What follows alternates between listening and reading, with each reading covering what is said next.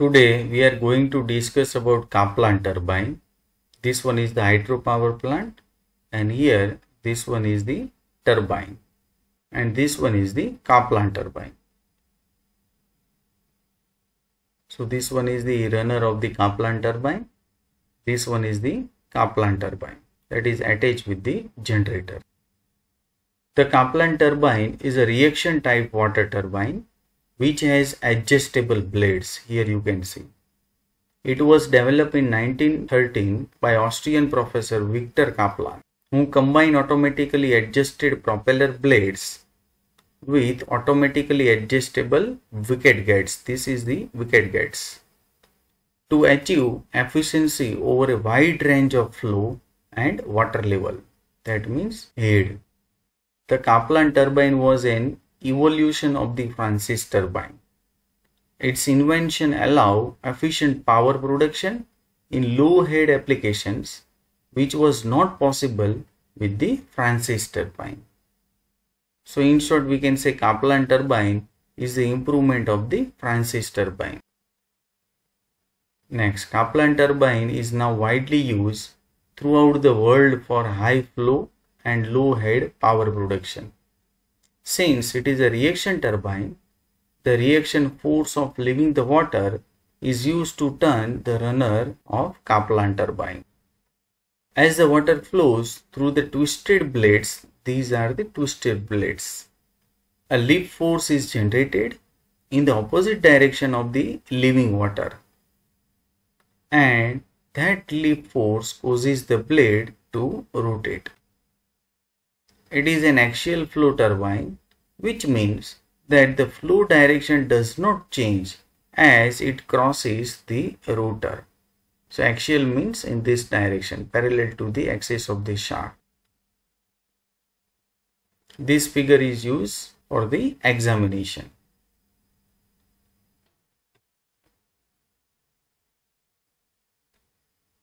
A Kaplan turbine consists of the following major parts penstock here you can see this one is the penstock spiral casing. This one is the spiral casing. Stay vanes. Here you can see the first one yellow color is the stay vanes. Then guide vanes this blue color is the guide vane here you can see these are the guide vanes then runner and runner blades.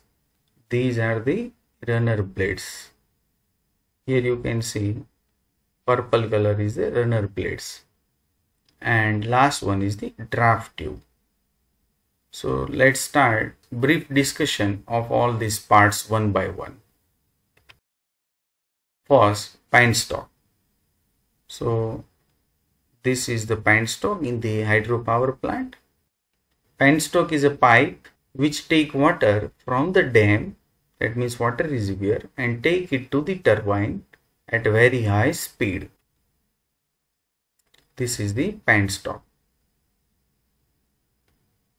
Next part, spiral casing.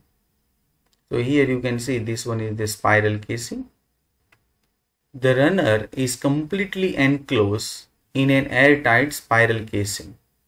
The casing and runner are always full of water. This is the runner and this one is the casing it is always full of water. The scroll casing is a spiral type of casing that decreases uniformly the cross section area to maintain the velocity. First, the water from the penstock enters the scroll casing and then moves to the guide vanes. Here, this one is the guide vane. Next, third part, stay vanes. So here you can see this one is the stay vane and this one is the guide vane. And here also you can see the blue color is the stay vane, purple color is the guide vane or you can say guide ring. And this one is the runner blade. This guides the water to the runner blades stay vanes remain stationary at their position and reduces the swirling of the water due to the radial flow as it enters the runner blades. hence make the turbine more efficient. Next part, guide vanes. Here you can see these are the guide vanes. Guide vanes are present between scroll casing and the runner. They are used to direct the water to the runner blades smoothly by decreasing its swirl velocity. Next, if guide vanes are absent, then the turbine cannot work efficiently and its efficiency decreases. From the guide vanes, that means this one, the water turns through 90 degree and flows axially through the runner blades. The guide vane is adjustable in Kaplan turbine so its opening and closing depend upon the demand of power requirement. So here you can see guide vanes and also here you can see this is controlled by this mechanism. In case of more power requirement, it opens wider to allow more water to hit the blades of the rotor and when low power requires it closes itself. Here you can see it closes.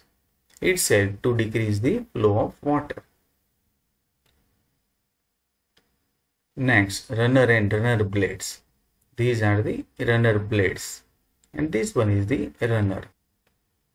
Runner blades are the blades that are rotated by the flow of water the blades of the Kaplan turbine have twist along its length for optimum angle of strike for all cross section of blades and hence to achieve greater efficiency of the turbine. So here you can see this one is for the low flow and this one is for the high flow. So these are the different position of these runner blades. The blades of the runner is adjustable to an optimum angle of attack for maximum power output. Next, draft tube. Here you can see draft tube. This one is the draft tube and here this one is the draft tube. Draft tube is a pipe of gradually increasing area which is used for discharging water from the turbine to the tail race. From the turbine to the tail race. At the exit of the runner, the pressure available is generally less than atmospheric pressure. So main function of the draft tube is to increase the water pressure by compromising velocity at the time of discharge. One end of the draft tube is connected to the runner and the other end is submerged below the tail race level. Next, working of Kaplan turbine. Water is allowed to enter into the spiral casing which guides the water through the stay vanes. Here you can see. And guide vanes. the stay vanes being stationary at their place removes the swirl and try to make the flow of water more linear. Then water is directed tangentially through the wicket gates and strikes onto a propeller shaped runner here you can see causing it to spin next from the runner, the water enters into the draft tube where remaining kinetic energy is converted into pressure energy and hence increases the pressure of water. Further, rotation of the turbine is used to rotate the shaft of a generator. Here you can see and hence it generates the electricity. Advantages of Kaplan turbine. This turbine works more efficiently at low water head and high flow rate as compared with the other turbines. This is smaller in size, therefore the space requirement is less. Kaplan turbine has less resistances to be overcome because it has only 3 to 8 blades. Kaplan turbine runner vanes are adjustable, here you can see, so that we can get maximum power output. Next, disadvantages of Kaplan turbine. The position of the shaft is only in the vertical direction. A large flow rate must be required to run the turbine.